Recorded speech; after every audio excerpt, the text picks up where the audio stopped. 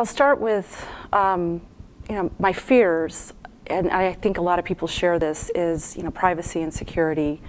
Um, you have to be pretty knowledgeable to um, protect yourself on the internet. So I kind of compare, you know, that knowledge to the early days of just learning how to use the internet. I mean, I'm pretty advanced user, and it's confusing to me on how to um, make sure all my settings on Facebook are right, and you know, encryption, and uh, just making sure that I don't get hacked into and my passwords. And so um, it's pretty stressful. I'm, I'm, stressed out a lot about it, and I, maybe I'm stressed out because I know a lot can happen.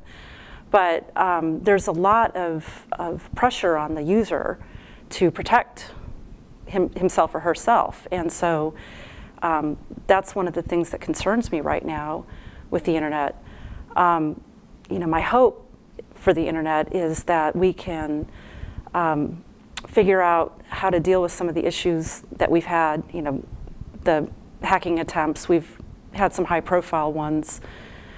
They, they just seem to keep happening. So my hope is that we can figure that out. And, um, and again, it's probably because we have so many um, it, things are so complicated. So it's hard to um, it's hard to uh, you know watch out for everything that you need to that you need to do. When I was talking about my concerns with using um, or protecting yourself on the internet and the high-profile hacking attempts that that we're seeing, and there's a lot at stake, and um, a lot of that could be uh, fixed with uh, better training of um, people who are working on the networks